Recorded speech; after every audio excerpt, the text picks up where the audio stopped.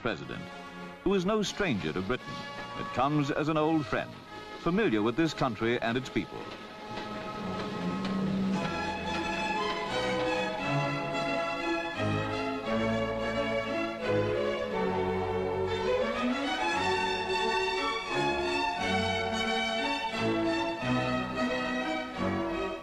Princess Margaret and Princess Marina were there to welcome him.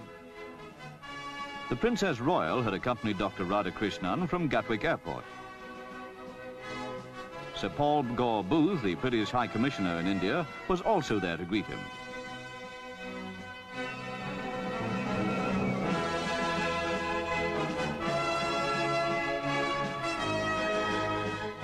Welcoming crowds wait in the street outside.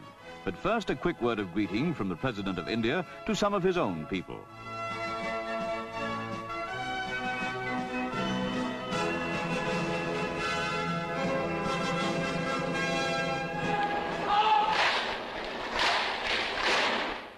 The traditional sovereign's escort of the household cavalry accompany the open carriage, where the Queen sits next to her distinguished guest.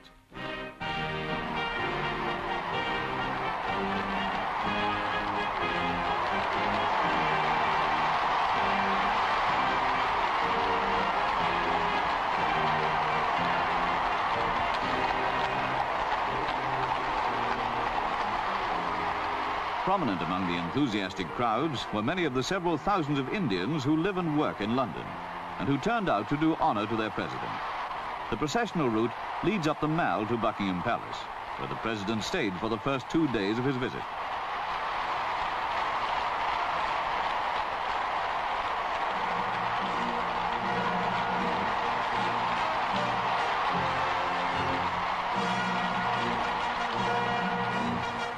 Inner courtyard of the Queen's London home, a guard of honour of the 1st Battalion, the Grenadier Guards, waited to salute their sovereign's guests.